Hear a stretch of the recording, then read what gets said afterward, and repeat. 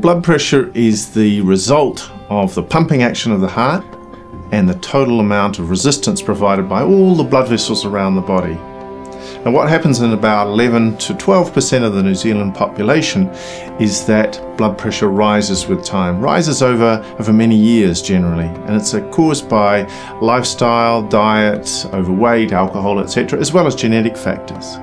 Now what's also clear in the last 10 to 15 years is that a branch of the central nervous system called the sympathetic nervous system, which goes to all the blood vessels around the body, also begins to go up in the early phase of the cardiovascular disease.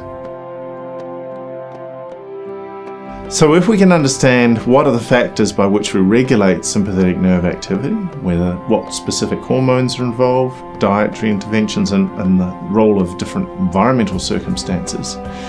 I think we can aim to provide earlier treatment strategies which target the sympathetic nervous system and prevent some of the major changes in cardiovascular diseases like hypertension, heart failure and renal failure. Here at the University of Auckland, we're recording sympathetic activity and blood pressure in, in, animal models of cardiovascular disease states, in situations that we try and make as reflective of the human condition.